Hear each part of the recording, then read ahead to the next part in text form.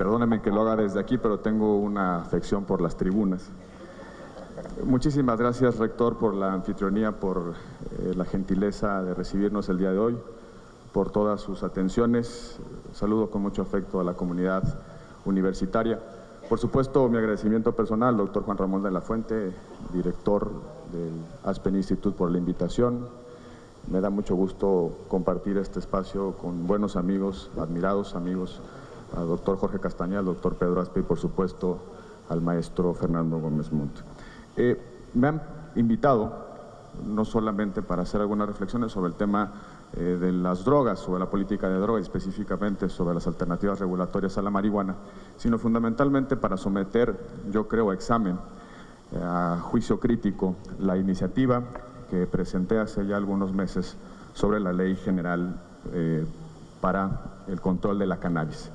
Una, una iniciativa, una iniciativa que plantea a mi juicio, una regulación eh, completa, comprensiva y una aproximación enteramente diferente a el problema de las drogas.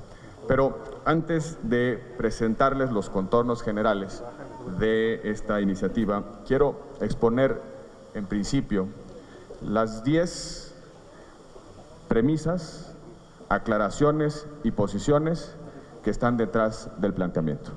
Sin estas 10 posiciones, simplemente el modelo no puede razonarse de manera clara y completa.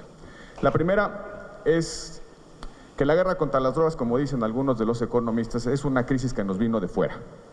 Nosotros no la decidimos, sino que se impuso en un momento determinado y más bien por propósitos políticos que por motivaciones de política pública plena Guerra Fría, la narrativa belicista, había la necesidad de justificar la intervención del Estado sobre ciertos colectivos y en consecuencia se generó el estigma sobre los consumidores de drogas específicamente de la marihuana. Y se hizo una estigmatización a cuatro niveles, comunista, hippie, consumidor de marihuana o marihuano, mexicano. Y de ahí venimos, de ahí venimos, ese es el origen de la política de control especialmente intenso, el uso de los instrumentos del derecho penal para controlar, por un lado, la oferta, para contener la oferta y también para disuadir el consumo. La, segunda, que me parece que es importante eh, eh, como premisa, es que como nosotros no decidimos entrar a la guerra, sí podemos decidir si nos salimos de la guerra. Y es una decisión al final de cuentas sobre qué tipo de regulación, qué tipo de aproximación y qué tipo de políticas públicas podemos construir para un abordaje totalmente diferente al problema. Eh, tercero, la ecuación de la política prohibicionista consta de la, siguientes, de la siguiente fórmula. Había que subir el costo de vender y también el costo de consumir. Persigues a través del derecho penal la oferta para reducir la cantidad disponible en el mercado. Por otro lado, persigues y castigas el consumo para aumentar el riesgo del consumo, para aumentar el costo del consumo y en efecto disuadir el consumo. Esa es la ecuación provisionista. Control en la oferta, control en la demanda, menos disponibles, menos mercancía, más costo. Lo cierto es que a la luz de esos objetivos, simplemente la política ha fallado en todas sus dimensiones. ¿Por qué? Por distintas razones. En primer lugar, el precio no ha bajado, el consumo se ha elevado, la edad de primer consumo ha disminuido, la frecuencia de uso ha crecido, la calidad del producto es menor. Es decir, si a la luz de los objetivos a partir de los cuales se construyó la tesis prohibicionista en contra de las drogas, simplemente la política es un rotundo fracaso. ¿Por qué? Porque los indicadores dicen todo lo contrario. Y tiene que ver también por una razón de carácter económica. La demanda, como dicen también los economistas, de las drogas es inelástica, es decir, es poco sensible a las variaciones de precio. El consumidor, aunque le aumentemos el riesgo y aunque le aumentemos el costo, sigue teniendo tendencia a consumir. Y lo único que provocamos, y de eso hablaremos en un momento más, es un intensísimo mercado negro que es el causante de buena parte de los problemas sociales que vivimos. En consecuencia, mientras haya, exista alguien que quiera consumir, habrá alguien que quiera vender y en consecuencia, si el mercado no es regulado, habrá mercado negro con todo lo que eso significa. El cuarto, punto, que es al final de cuentas una posición, es que El problema de fondo con respecto en el entorno de las drogas es el mercado negro. El problema que tenemos que resolver es la intensidad del mercado negro y los costos sociales que el mercado negro genera. ¿Por qué? Porque el mercado negro no solamente induce a las adicciones, eh, genera debilidad institucional, provoca violencia, genera enormes cantidades de recursos para financiar actividades ilícitas y su desplazamiento a otro tipo de conductas extractivas de renta y también implica menores posibilidades de generar consumo responsable. Yo no conozco a ningún narcomenudista que le pida al consumidor la credencial del lector para ver si en efecto es un mayor de edad o no y mucho menos que se preocupe por la calidad del producto que está vendiendo. Hay quienes afirman, la evidencia dice lo contrario, que la marihuana, por ejemplo, es una, una, droga de iniciación, es decir, empiezan con marihuana y terminan en heroína. Eso es absolutamente falso. Lo que sí es cierto, y hay evidencia empírica que lo demuestra, es que es la interacción con el mercado negro lo que produce la adicción. Van por marihuana, le ofrecen eh, cocaína, le ofrecen metanfetamina y en consecuencia va escalando la adicción por una sola razón. El que la vende quiere un consumidor recurrente y en consecuencia quiere atraparlo a ciertas sustancias que generan mayor, mayor adicción. Cinco, nadie, no conozco a nadie de los que apoyemos un cambio regulatorio que digan que las drogas no hacen daño. Por supuesto que ese es el punto de partida, las drogas hacen daño. Lo que tenemos que encontrar es una fórmula regulatoria para disminuir los daños, los daños al consumidor, pero también los daños, los costos sociales que genera el propio hecho de consumo. En consecuencia, los primeros interesados en encontrar una óptima regulación deberían ser los no consumidores. ¿Por qué? Porque son, somos los que pagamos los costos de los consumidores y específicamente los efectos del mercado negro. Sexto punto, el dilema entre liberalizar todo, totalmente permitido o totalmente prohibido, como si fueran las únicas dos opciones, ese dilema es absolutamente falso. La pregunta central es qué tipo de regulación disminuye los efectos y los costos. Porque, en efecto, hay distintos tipos de consumidores, perdón, hay distintos tipos de regulaciones, distintos tipos que se diferencian fundamentalmente por tres elementos. El primero, por los grados de intervención en la libertad y autonomía de las personas cuánto interviene el Estado en las decisiones de vida, las decisiones de consumo o en cualquier tipo de conducta. Segundo, qué externalidades o efectos genera la regulación y qué instrumento utilizas es el tercero. Hay distintos tipos de regulación. Por ejemplo, en la Ciudad de México, hay una regla que impide o que, establece que no pueden estar los aleros en las mesas. Ese es un tipo de regulación que atiende a qué tipo de instrumento, a activar las motivaciones internas, es decir, a generar una suerte de gravamen implícito a solicitar la sal.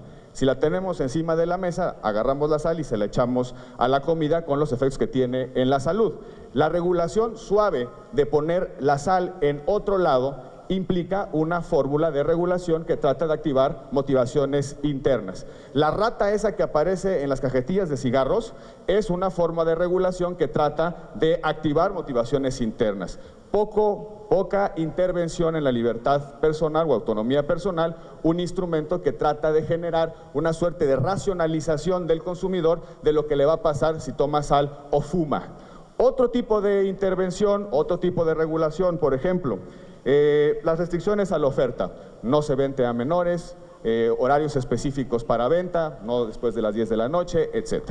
Regulaciones que tienden hacia la demanda, por ejemplo, los fumadores, espacios prohibidos, no se puede fumar en el restaurante, tienes que salirte a la terraza. Por supuesto, un instrumento eficaz de regulación para disuadir conductas o bien para eh, incentivarlas es la política fiscal. En efecto, a través de los impuestos o a través de los mecanismos redistributivos de la riqueza que se extrae a partir de los impuestos, se puede motivar o disuadir una, una determinada conducta. Hay algunos, algunos hechos de consumo que no son sensibles a las variaciones de precio precisamente por la inelasticidad de la demanda. Y por supuesto, el último y el más extremo es el derecho penal. La gran pregunta es por qué si tenemos tantos modelos alternativos de regulación utilizamos el más extremo, que es la máxima invasión a la libertad de autonomía personal, la máxima utilización de la capacidad del Estado, policías, ministerios públicos, jueces y prisiones, y por supuesto lo que no te permite modalizar los efectos que genera tanto la conducta del consumidor como la intervención, la intervención del Estado. Lo que, de lo que se trata en una regulación eficiente es encontrar un equilibrio entre la libertad personal, la autonomía personal y por supuesto los objetivos sociales de disminución de daños o disminución de costos. Eh, séptimo, no todas las drogas tienen el mismo impacto o afectación en la salud. Luego entonces no deben ser tratadas de la misma manera. Y ahorita les quiero enseñar una gráfica que puede poner esto en perspectiva. Ocho, la cannabis es una planta tiene muchos elementos químicos, 400 elementos químicos y 60 cannabinoides. El cannabinoide que genera un efecto psicotrópico se llama THC. Es uno dentro, dentro de muchos cannabinoides. Y los cannabinoides actúan de manera diferente en el organismo. Por cierto, un dato bien relevante. Habíamos regulado en términos de prohibición el uso de los cannabinoides antes que se descubrieran científicamente los receptores en el organismo porque los receptores en el organismo, los dos, los dos receptores, el CB1 y el CB2, se descubren en los años 90, 90 y 93, cuando llevábamos un buen, tracho, un buen tramo de prohibición absoluta al consumo de las drogas, por supuesto también a su comercialización.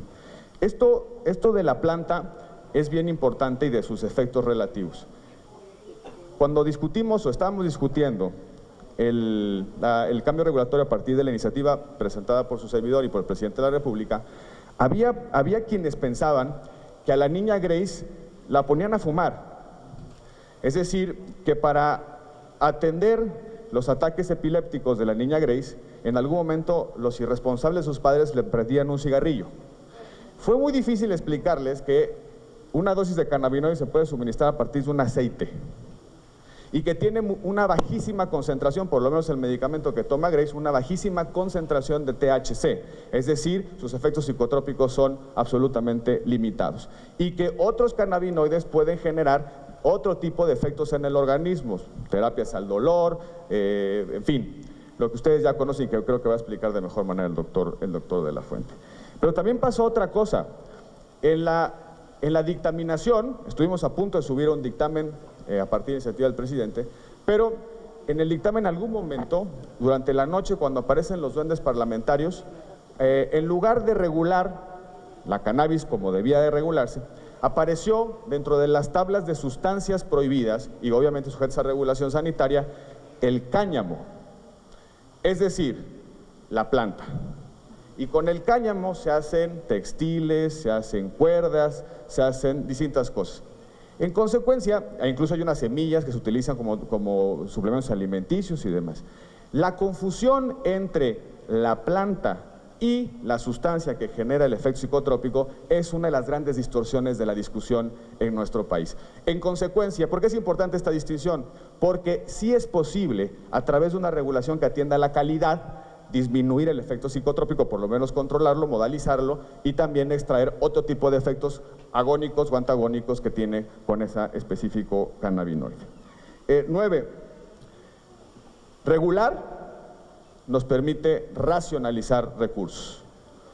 Es decir, cambiar los instrumentos del Estado para abordar los problemas de drogas puede permitir generarnos espacios en términos de recursos para atender otras problemáticas sociales y para atenderlas de mejor manera. Es una apuesta por la racionalización y redistribución de los recursos para otros objetivos sociales. Y la décima, la transición regulatoria ya está en marcha, no tiene reversa, o nos ponemos las pilas o nos va a alcanzar la realidad. Y eso puede pasar en noviembre de este año cuando California y eh, eh, Arizona puedan mudarse a la, legalización. ¿Por qué? Porque es nuestra frontera. Y es muy probable que se genere una suerte de muro comercial invisible. La mercancía mexicana no tendrá ningún incentivo de ser exportada a Estados Unidos porque del otro lado de la frontera habrá buena marihuana con buena calidad y legal. ¿Qué incentivo tendrán las contrapartes en Estados Unidos a importar marihuana mexicana. ¿qué puede suceder? Escaladas de violencia. Porque todo el producto disponible, todo el exceso que ya no se va a poder colocar en el automercado, se va a quedar en México. ¿Y qué le va a pasar al precio cuando hay exceso de oferta? Baja. Y si baja el precio, más consumidores. Y si baja el precio, menor utilidad de las bandas criminales. Y si baja la, utilidad de las bandas criminales, diversifican su negocio, compensan la, falta, la falla o la falta de utilidades y se van al secuestro, robo o extorsión. Un muro comercial invisible puede provocar una nueva escalada de violencia en la frontera norte de nuestro país. Dichas estas 10 posiciones, aclaraciones, quiero presentarles, en términos muy breves, la propuesta concreta. Me salto algunas de los antecedentes o de diagnósticos. El problema que tenemos en el país es de violencia. Sin lugar a dudas, una escalada de violencia que tiene que ver fundamentalmente con el mercado negro de las drogas. De 2007 para acá hay una elevación importante de los homicidios a nivel nacional. La propia gráfica es reveladora y emblemática. La tasa de homicidios por 100.000 habitantes eh, confirma lo anterior hay un conjunto de aceleradores internos y externos que han provocado esta, escalada de violencia, desde el precio de cocaína, el cierre de la frontera, el cierre de la ruta del Caribe, el blindaje de la, frontera post 9 de septiembre, eh, septiembre 11 de 2001, mayor oferta de armas asalto después de que se eliminó la restricción para la eh, venta en Estados Unidos, el aumento de la repatriación de exconvictos, la caída del precio de la cocaína en Estados Unidos a partir de 2011 de un 40%. Es decir, muchos oferentes de violencia buscando extraer rentas. Y por otro lado, hubo una serie de aceleradores internos, o hay una serie de aceleradores internos que explican esta escalada de violencia. Militarización de los cárceles durante los años 90, la diversificación del crimen organizado, mayor despliegue de fuerza coactiva, sobre todo a partir de las operaciones México Seguro y Operativo Michoacán, más agencias involucradas en el combate al crimen organizado, a partir de 2007 una estrategia de, de desmembramiento de los cárteles, cierre de rutas marinas y aéreas, es decir, mayor tensión violenta. ¿Qué le está pasando al mercado negro? Es más violento.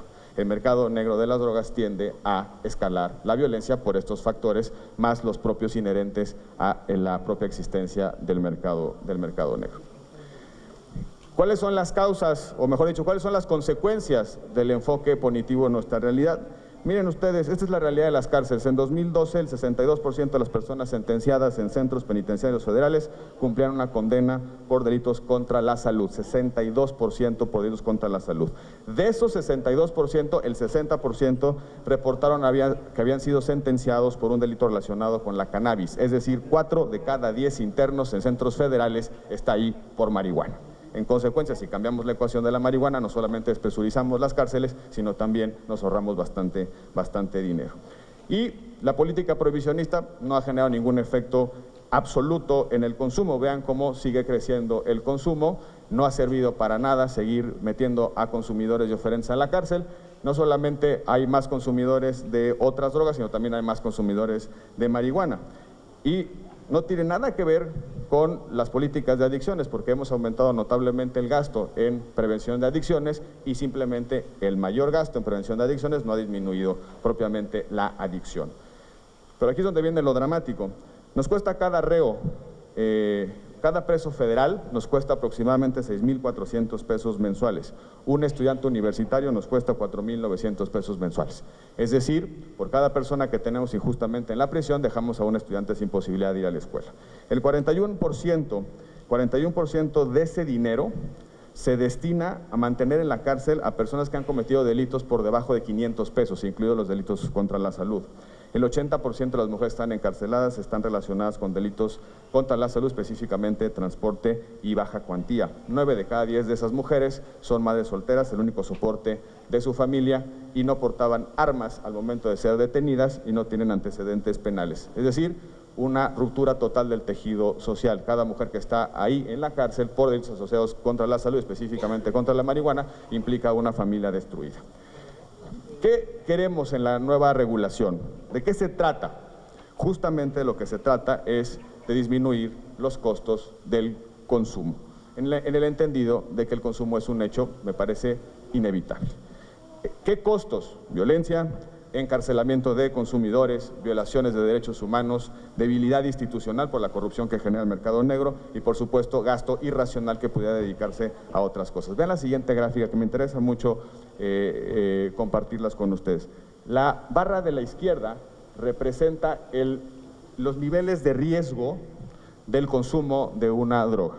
Es decir, eh, a mayor nivel en la escala, mayor riesgo o daño al consumo, entre menor eh, nivel en la escala, menor daño. Más o menos en la, donde termina la coloratura roja está el alcohol, donde, donde está la eh, flecha azul está la cannabis. En el otro extremo, donde están los círculos, está el tipo de control regulatorio sobre esas sustancias, es decir, el nivel de intensidad de la regulación. Entre más arriba estemos, donde está el círculo mayor en rojo, mayor coacción aplicada por el Estado. Entre más abajo estemos, menor coacción. La cannabis, donde está la flecha azul, está en un nivel bajo de riesgo a la salud, pero está en un nivel alto de control. Es decir, lo estamos enfrentando con altas dosis de coacción estatal. Por el otro lado, alcohol representa un alto nivel en el riesgo a la salud y la estamos enfrentando a través de mecanismos bajos de control o de coacción. ¿Dónde están los menos, dónde están, cuáles son las dosis, o perdón, las sustancias con menos nivel de control? Tabaco, solventes, anabólicos, esteroides, alcohol. Solventes, eh, ojo, lo que los niños compran a barato precio eh, y, con lo que se están muriendo en algunas comunidades pobres del país.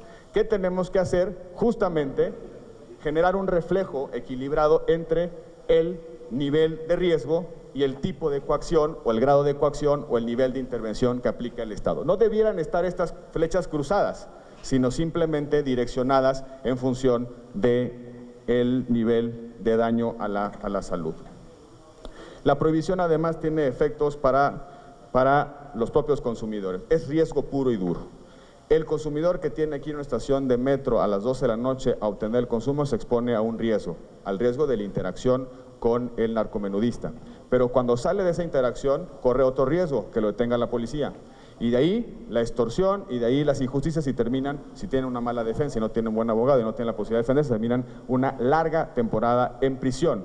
Una larga temporada en prisión significa una vida destruida que tiene dificultades para repararse, pero también implica otra interacción con circuitos criminales que provocan que la persona que sale no tenga otro horizonte de vida más que regresarse a esos círculos de, de criminales.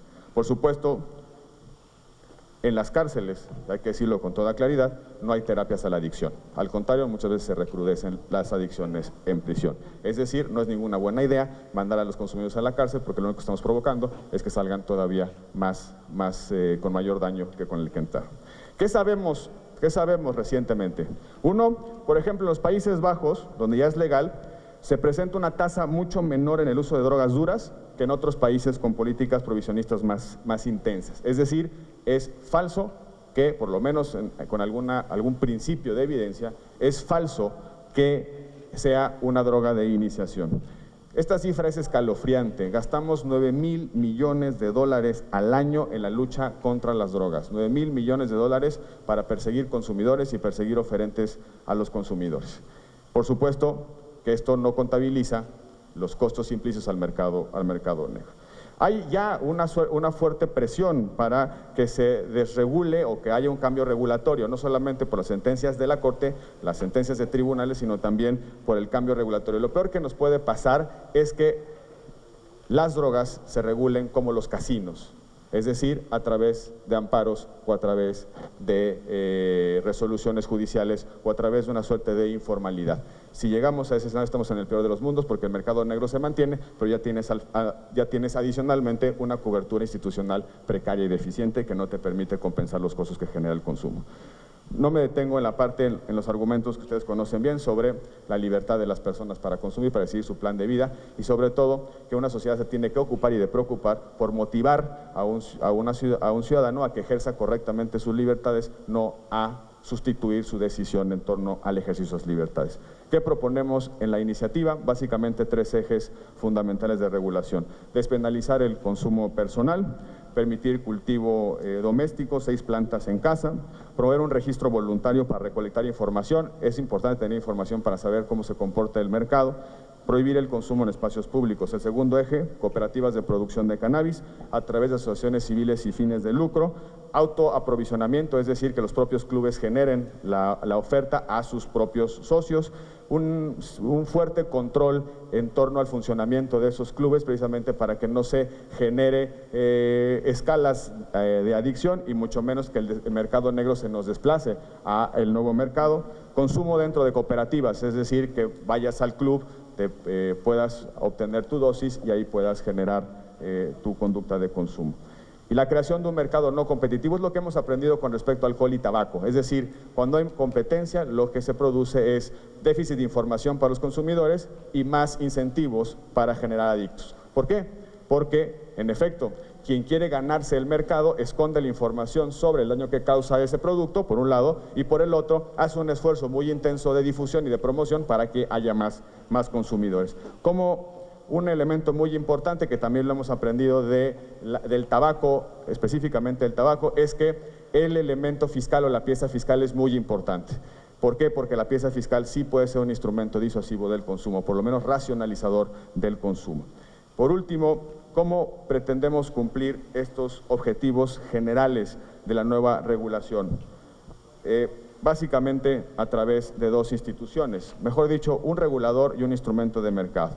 Me ocupo primero del regulador, el Instituto Mexicano de la Cannabis. ¿Qué hace el Instituto Mexicano de la Cannabis? Regula el tamaño del mercado regula el precio. Está observando todo el tiempo cómo se comporta la oferta y cómo se comporta la demanda, precisamente para mantener un equilibrio y que no se nos detone ni la demanda ni tampoco la oferta. Y a través de una empresa paraestatal que se encarga como instrumento de mercado en justamente ir equilibrando precio y cantidad. Lo que he presentado son breves líneas sobre la iniciativa, por supuesto que tiene otros elementos, pero de lo que se trata fundamentalmente es de abrir una nueva tipo, un nuevo tipo perdón, de conversación sobre la política pública en torno a las drogas. Ha fracasado, estamos pagando las consecuencias y es momento de corregirla y por supuesto, como ustedes lo van a escuchar a continuación, hay muchas opciones para ello. Por su atención, muchísimas gracias.